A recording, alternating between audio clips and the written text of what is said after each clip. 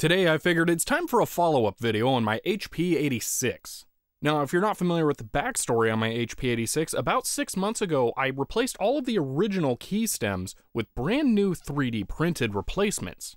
I detailed the entire disassembly, design, testing, and final installation process in a two-part series about six months ago. Now, for the most part, these 3D printed keys have held up pretty well, and I haven't really had any problems with them. Well, until recently, that is. Now, if you haven't seen the original two videos, which you might want to check out because it was a really cool process, the original key stems have a problem where after time the plastic gets brittle and it starts to crack in the sides. This would cause the keys to stick when you pressed them down all the way. So what I did is create a 3D printed replacement piece for this, and that one shouldn't split because the way that the layers are printed and it has this really large top lip, so it should be extra strong. Well, at the very end, before I decided on the final design, I'd made one more choice.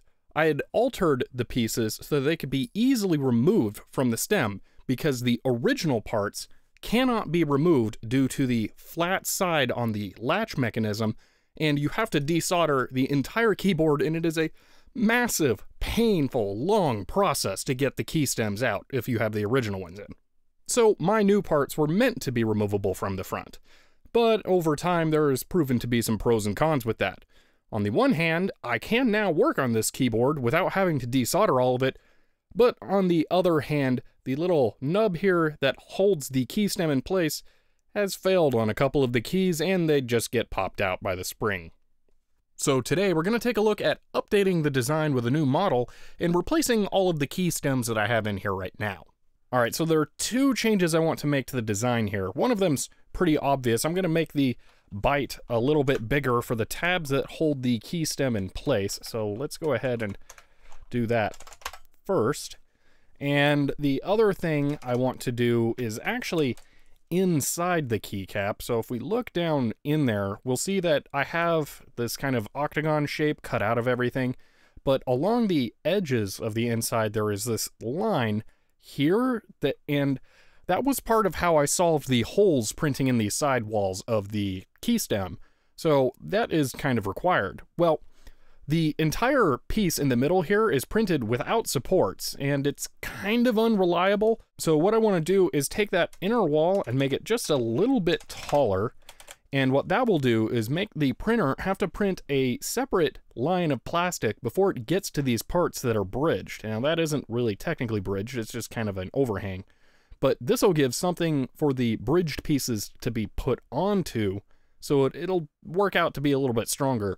Every single one of these that I printed last time actually had some stringing pieces inside of here, and I had to file all of them by hand before I could put them in the keyboard. It was an absolute nightmare. So I really want to avoid having to do that again, and that should do it, because this will just make sure everything goes where it needs to be. All right, so I'm going to go ahead and set Slicer to just print a hundred of these. That's a lot. And uh, yeah, should be ready to go. One of the important things with how these are printed, I don't think I covered this in too well in the last one, last videos, I should say, um, is how these are actually done. So I have my settings pretty carefully chosen over here so that it, the outer wall of the stem is just one line of plastic. I know I mentioned that, but it has to be like that the whole way through. And then here's where we have the outer wall and the inner wall. But uh, this part here, we can see there's a couple beads of plastic now before it gets to the bridging. So that's going to help that a ton. Um, but yeah, so the whole thing, it's really, it needs to be done in a particular way. So they have to be printed upside down. It's, it's rather complicated. These, the settings have to be just right for these to actually work. These things are barely 3D printable. It, you're really working within the maximum restrictions of what you can print with this part. But yeah, I think that's it. So uh, yeah, I'm going to go ahead and let that print run overnight.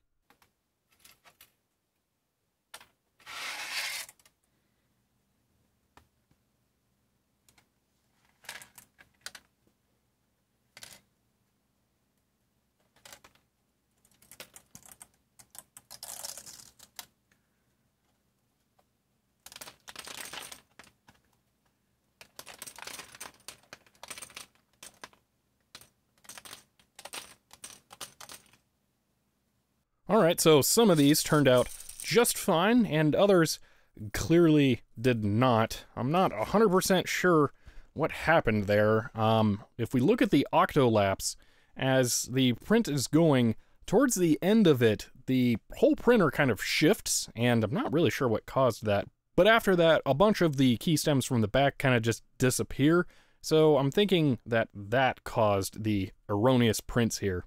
Now I did just do a lot of work on my 3D printer. I just replaced the bed leveling sensor with a touch version, and I had to redo a lot of the wiring for that, so I just went ahead and redid all of the wiring as a safety precaution.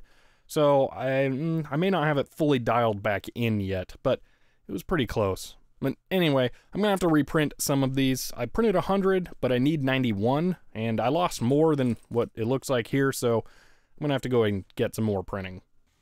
Alright, the print is going along nicely on the 12 new key stems. And while that's going, I'm going to go ahead and start pulling out all of the keys so I can get those new stems in.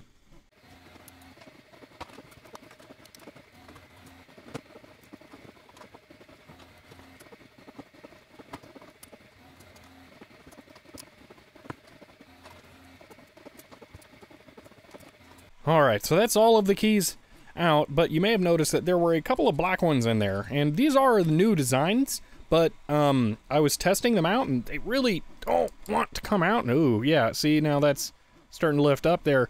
So, yeah, I, I think these new ones really aren't going to be removable after they're put in there. Well, at least maybe not without great effort. Um, oh, that one feels like it might release. Ah, I don't know. But um, being removable isn't terribly important, so I'm not that... Up, oh, there we go. That one came out. Okay, so that's good. That's actually the same uh, design as the ones that are currently being put uh, in. So this one has a bite that's a bit bigger than these do, actually. So that's uh, why that one's just not going to cooperate at all. I don't think it's going to want to give me... Uh, oh, that's less than desirable. I may have to take that one out now. Mmm, fun. I wanted to avoid doing that because I'm afraid that this top, you know what? I'm just I'm just gonna leave that one. Um, I'll put this on the key that goes there so it spaces it out correctly. But I don't want to take this one out um, or try and rip this out in case the layers separate, and then I'm left with a part of the key stem in there um, because then I will have to desolder the entire keyboard again. And I don't want to do that. So I'm going to leave that in broken. I don't care.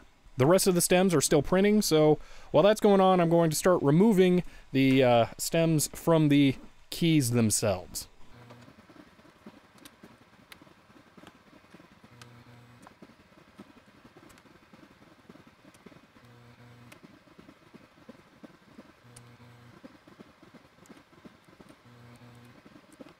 All right, the new key stems just finished being printed, so it's time to start getting them in here.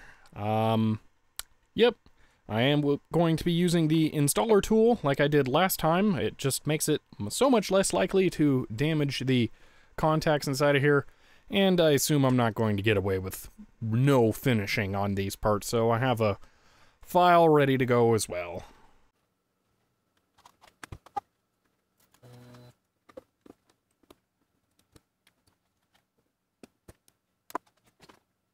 Well, great. It does look like I am going to have to uh, sand every single one of these. Fun. Okay, the amount of time to do this is on the magnitude of hours, not minutes. So you're just gonna have to miss this part because I'm not gonna record three hours of footage or whatever it takes me to do this. Okay, this is one pretty hate machine later, and I've got 27 keys in here now, not including the one that was already in there. And I figured I would show you exactly what I have to do um, with how these failed, because I actually had to psych myself up to do this video this time, because I had to do this last time as well, and remembered how much it sucked. So, here's what I'm actually having to do to get these in. Okay, here we have one of the printed key stems. All the layers are nice and smooth across. It's consistent going down the sides. There's no real apparent problems. unless I flip it over, in which case you can see mm, that side looks a bit gnarly. Now, what's going on here is when it's moving from part to part on every single one of these, it's leaving a bead along two corners, one at the bottom and one at the top. Now, when you print one of these, you don't have that problem because the extruder goes from one layer and then just moves slightly up and goes immediately to the next layer. But when you're printing multiples of these, it has to keep jumping back and forth between the pieces, and the extruder will retract a little bit of plastic and put it back down. At least I have to, or else the stringing here gets even worse on this print. So it's just, it's a, a, really big problem when you're trying to print multiples of these. And I was afraid this was going to happen. I was really, really hoping it wouldn't happen with this plastic or this would be minimal or I'd tweak my settings. I'd, it happened. So, so would be it. Now this problem is actually why I ultimately never sold these even though I said I was considering it.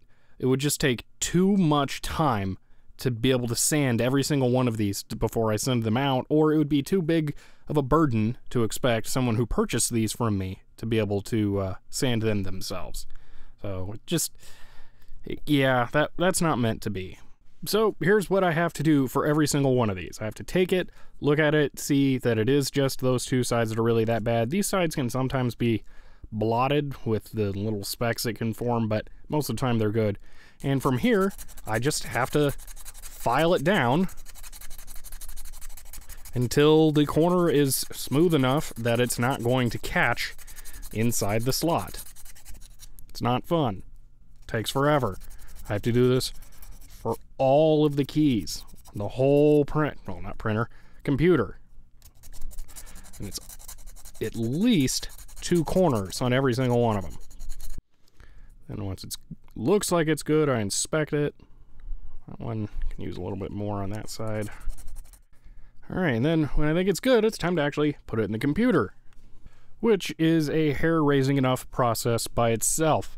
So I have to feed the install tool in there, take my sanded part and a spring, put the spring on first, and then align the sanded part, although now I can look in there, I can see a couple little strings in there. So what I'm going to have to do is take the other one of these, kind of just break those free from inside so they can't catch in between the contacts. There we go. That looks better. Now I can align this on the correct side.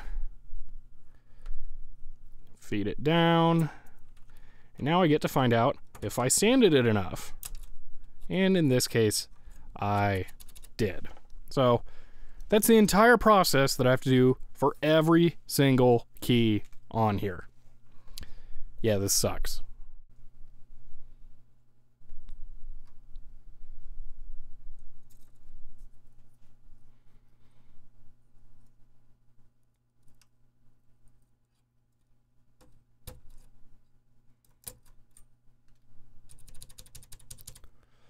Oh. That's the last one. Which means that once again, all of the stems in the keyboard are 3D printed. Now I just have to uh, go back and put all the keycaps in. I don't really need to test them before I put the keycaps in to see if they work, because, well, it's pretty easy to see that they work. If the two metal contacts inside touch after you depress the key, they're good to go, and every single one of these keys, you can see the two contacts touching. So they should all be working just fine. All right, so now I'll just start getting the keycaps on.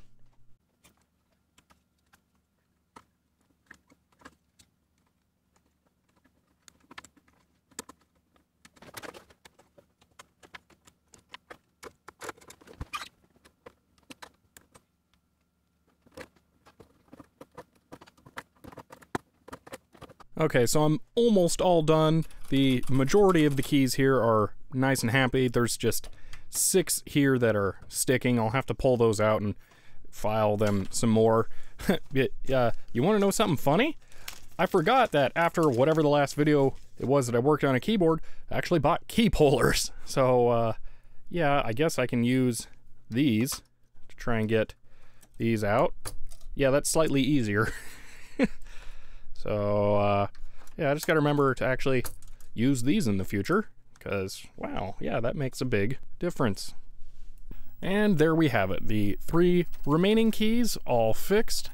And as you can see on screen, I went through and tested every single one of the keys and they're all working. So the keyboard is back to being good as new-ish. I mean, see, the keys aren't super level, um, just because of how the 3D printing is kind of uneven, but doesn't it doesn't really matter. So, you know, I'd take this over the keys that originally just stuck down and wouldn't come back up any day. So, you know, this has its drawbacks. It's not for everyone, but it's worth doing if you really want to use one of these, or any other computer that has the Stackpole or Hitek switches. It's such a shame you can't just pull the original key stems out through the top. I mean, the real problem is the lip on there. You can see how that's just totally flat. It makes it just impossible to do that. It's just annoying because one individually printed key stem looks like this, and printed in batch looks like this. Clearly, this one's a sloppy nightmare compared to this one, and that's why you have to file off these rough corners that develop. An individually printed one, it just goes layer to layer, one after another, and the whole thing looks very good. I mean, there's a little bit of, you know, inconsistency on the other side, but still, it's way better than that one. These don't have to have anything done to them. When they're printed individually, they just fit right in. The whole problem is because of those retraction lines that develop on the sides of the stem during printing multiples. Perhaps a belt bed printer would work very well for this because you could just print one after another and have them fall off the edge of the belt. I'm even almost considering trying to put a plow on my extruder and see if I could print one of these at a time and then just ram it off and then print another one. These take about seven minutes to print each, and it would just be too much effort to sit there and every seven minutes have to remove one of these for 91 of these. You might be able to fit 10 of them on a build plate and have them print individually one at a time, but really the extruder whole the whole mechanism for the hot end is just too big to be able to really print these one at a time on the print bed. Maybe if you had a just a uh, Bowden extruder, so you had only the hot end on there, it could work, but I I don't know. I, I don't have that, so I haven't been able to experiment with that. Now, for me, it doesn't really matter how much effort it's going to take to work on the keyboard or any other part for this computer, because this is one of my favorite vintage computers I have. So, whatever effort I need to put in to keep it going, I am going to do. And that's pretty much it for repairing the keyboard, so let's check out a cool thing you can do with this computer. Now, as I said in the first video for this uh, little series on the keyboard, this is perhaps the most proprietary computer I own. The disk drive has a unique interface. The monitor has overscanning, or underscanning actually, to fit more information on the display. The CPU is totally proprietary for HP. I believe the codename is Capricorn, and there's a interesting story in there involving Steve Wozniak and kind of the seeds that created Apple, but that's for another day.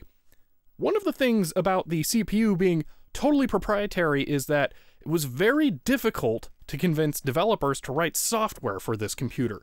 So most software was created and published by HP for this computer including games. This is actually for the 85, which is a 40 column version of this. The games don't run quite well, but close. But everything went through HP to get on here. And there are very few examples of third party software that will actually run on this. One example here would be VisiCalc, though. So if you wanted to program software directly for this computer, it was quite the burdensome task. However, HP recognized this limitation and came up with an interesting solution the CP/M system cartridge. Now, what's actually inside of this is a complete Z80 computer. Kind of weird, huh? Now, you can connect this into the back, and then you can use the Z80 contained within this cartridge to run CP/M. So, let's go ahead and try that out. I'll go ahead and put the CP/M system cartridge in the slot just above the memory expansion. Alright, now that the CP/M cartridge is in there, I'll go ahead and put the CP/M disk into the drive connected to interface 0 and fire up the computer.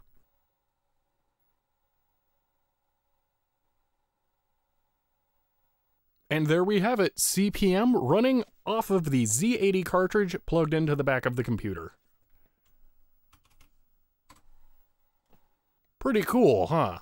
Now, this all gets more complicated from here because the CP/M formatted disks for this computer are totally different than the HP Basic formatted disks, and you can't use the same files between them. There are transfer programs to allow you to migrate the files from one operating system to the other, and I do have some of those, but I haven't tried them all that much. So I can't really say how well that works, but it's the whole thing's really weird. With the CP/M system in here, though, that would give you the option to go to a store and get a regular boxed CP/M application and be able to run it on your HP86. So it was a really cool feature to add. This didn't really help this thing gain any market share, though, even though it's a really interesting feature. Perhaps they should have gone with an 8086 cartridge to allow you to run Microsoft DOS instead. That might have gotten them some more headway. But anyway, it's an interesting look at the HP and my keyboard repair. I hope you guys enjoyed that, and I'll see you next time.